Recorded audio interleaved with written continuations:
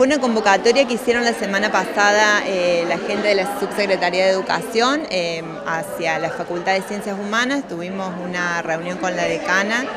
y, mm, sí, se concretó con dos días de trabajo, dos jornadas, la jornada de ayer y la de hoy. y sí, se trabajó muy bien,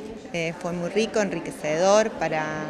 para nosotros en primera instancia y seguramente para las personas que han participado. ¿Cuáles son algunos de los conceptos generales que se trabajaron?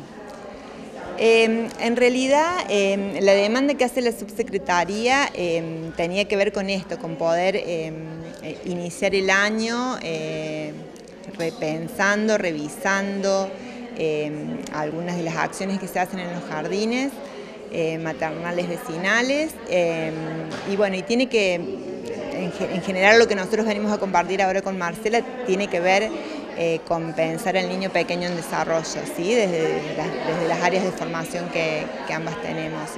Em, educación inclusiva Marcela, yo un poco más en los primeros años de vida y en la educación temprana, pero la intención es eso un poco, escuchar también lo que las, integrantes de los jardines necesitan, em, recuperar un poco esta práctica, repensarla a la luz de, los conocimientos que uno ha construido a lo largo de estos años, pero pero sobre todo eso, pensar en el niño pequeño en desarrollo y bueno, me parece que queda como la puerta abierta para pensar en, distintas instancias, en ciclos de formación. Eh, para nosotros como universidad pública es interesante que esto sea así, eh, nos tenemos que animar a, las relaciones interinstitucionales, me parece que a medida que uno... Eh, ofrece la posibilidad de que los, de que los actores institucionales eh, expliciten demandas y, digan lo que necesitan, se, abre un abanico, digamos, de, necesidades en donde creo que la universidad puede estar como em, sumando a esto. Así que en, general sí, entendemos que va a haber, eh, todavía no, está no, no, se ha concretado eso, ni se, ni se ha hablado eh, sobre cómo sería, pero la intención es que sí que exista un ciclo